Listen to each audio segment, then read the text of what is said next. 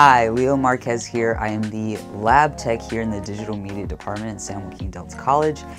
And I'm here to say, are you trying to enroll in digital media classes next semester, but are unsure of whether the schedule works for you because it says on campus on specific days. Maybe it says Monday, Wednesday, Tuesday, Thursday.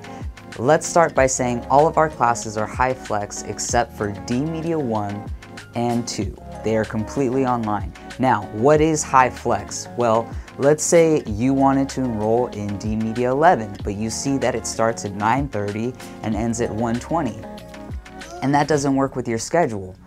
Well, that's okay because we can meet you halfway.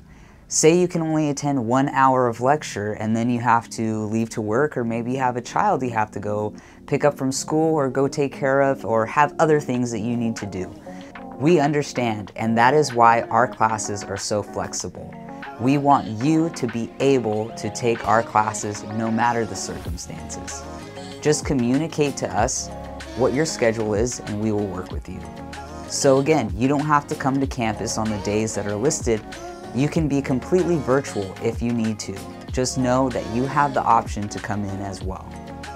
Now all that being said, please be aware that San Joaquin Delta College did initiate a vaccine mandate. So that means that if you do enroll in a HyFlex class, you will still have to upload proof of vaccination, even if you decide that in your HyFlex class you're going to be completely online, because there may be a chance that one day you would like to come in and use the lab or join us for a lecture. And that is fine, but you still have to upload the proof of vaccination. So for any questions or concerns, please feel free to email me. My email is leo.marquez at deltacollege.edu.